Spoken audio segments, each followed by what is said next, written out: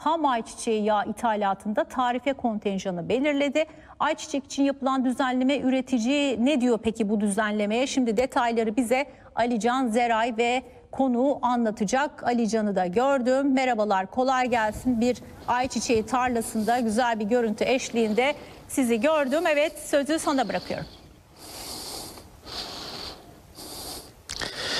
Evet senin de söylediğin gibi yaşanan kuraklık ayçiçeğini vurdu. Ayçiçeği hassas bir bitki ve önemli bir bitki.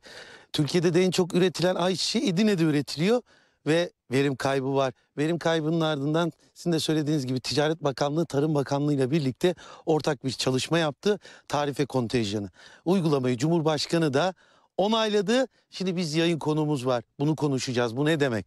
Trakya Birlik Genel Başkan, Yönetim Kurulu Başkanı Şafak Kırviç yayın konumuz. Evet ne demek bu tarife kontenjanı?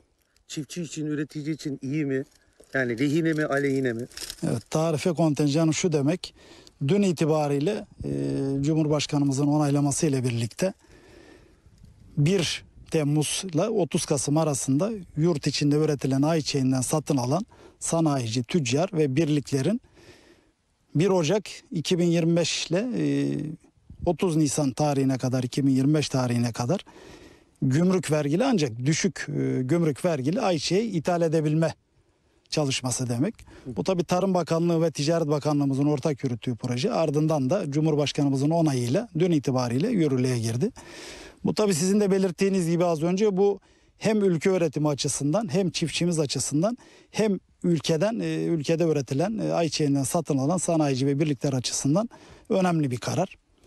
Tabi bu karar e, piyasalardaki bir dengeli bir seyrin oluşmasına sebep olacaktır. Uzun yıllardan beri uygulanmamıştı. Ancak bu sene uygulamaya geçildi. Çünkü diğer ülkelerdeki arz fazlalığı bizim ülkemize baskı yapmakta. Bu baskıdan dolayı da vergi sık sık vergi değişikliklerinin olması da öngörülebilirlik açısından gerçekten de çok zor bir e, süreç yaşatmakta. Özellikle buradaki bu işi yapan sanayicilere, birliklere, kooperatiflere. E, bu yapılan kararla e, bunun önüne geçilmiş oldu. Şimdi bunun etkilerini önümüzdeki günlerde tekrar biz göreceğiz. E, hep birlikte yaşayacağız. Bu üretici için de için için bu olumlu bir karardır. E, çünkü piyasalarda bir olumlu gelişme, böyle bir normal seyir e, uygulanacağı, oluşacağı kanaatindeyiz.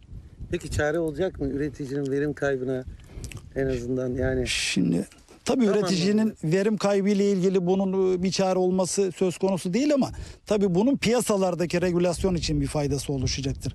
Az önce az önce belirttiğimiz gibi fiyatların çok aşağı gitmesini engelleyecek. Çünkü bu ürün bizim ülkemizde biz ithal etmek zorundayız. Ancak bunu erken dönemde hasat döneminde ithal edildiğinde piyasalarda büyük baskı yaratılmakta ve fiyatlar çok aşağılarda seyretmekte ve yüksek faizlerden dolayı sanayicinin de alım refleksini düşürmekte. Şimdi bu kararla sanayicimiz hiç piyasadan ürün almazsa 1 Ocak tarihiyle dışarıdan getireceği üründe indirimli vergi oranında faydalanamayacak. O yüzden de buradan iç piyasadan ürün alımına yönelecektir mecburen. Şimdi bu tabii kuraklığa çare olması anlamında e, ikinci sorduğunuz soruda kuraklığa bir çare değil ama tabii kuraklıkla ilgili şimdi bulunduğumuz arazide de sizin gördüğünüz gibi gerçekten de bugünlerde Edirne bölgesinde hasat başladı. Yani tahmin edilenin de çok altında bir verimler oluşmakta. Bazı alanlarda biçilmeyecek seviyede ayçiçekleri bulunmakta. Şimdi tabii burada bununla ilgili farklı enstrümanlar bakanlığımızın bu konuda çalışmaları da var. Geçtiğimiz hafta üst düzey bitkisel üretim genel müdürlüğü düzeyinde burada Edirne'de incelemelerde bulundu. Biz de kendileriyle görüştük. İşte bölgeyi gezdiler. Özellikle şu anda bulunduğumuz Sırp Sındığı bölgesinde e, verim kaybının en fazla yaşanacağı bölgelerdeyiz şu anda. E, Arkadaşlarımız bu bölgede bürokratlarımız incelemelerde bulundu. Önümüzdeki dönem bizim talebimiz tabii prim oranlarının arttırılması ancak böyle kurak yıllarda prim oranı şimdi verim düşük olduğu için kilograma prim çok fazla bir şey ifade etmemekte. Bizim de bu konudaki talebimiz dekara işte seyyanen belli bir oranın verilmesi çiftçimizi en azından bu kuraklık yılında biraz rahatlatacaktır. Evet. Kesinlikle öyle.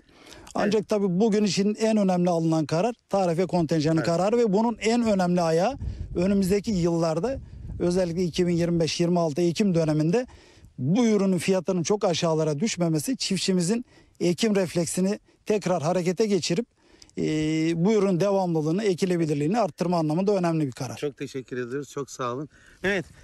Tarife e, kontenjanı uygulamasını e, Trakya Birlik Yönetim Kurulu Başkanı Şafak Kırbiç'le konuştuk. Kuraklığı da konuştuk. Çiftçi çiftçinin lehine dedi. Yani yurt dışından alınan kadar yurt içinden de piyasadan da e, ürün alınacağını söyledi. Evet ayçiçeğindeki son durum bu diyelim. Sözü tekrar merkeze size bırakalım. Çok teşekkür ediyoruz efendim. Şimdi e, günün önemli bir gelişmesiyle devam edelim.